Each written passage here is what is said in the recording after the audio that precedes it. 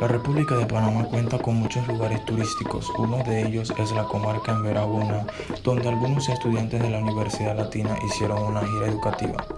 La comarca en Veraguna fue creada en el 1983 y está conformada por dos áreas distintas, entre sí el distrito comarcal Sémaco y el distrito de Zambú.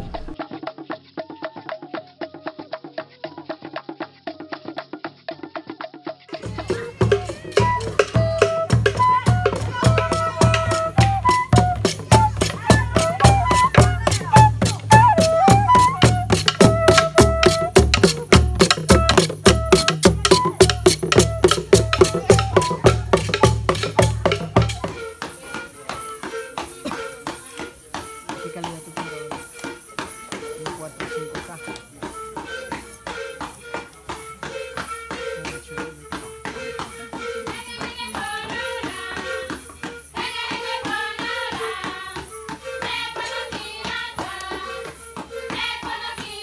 Vamos a temblar.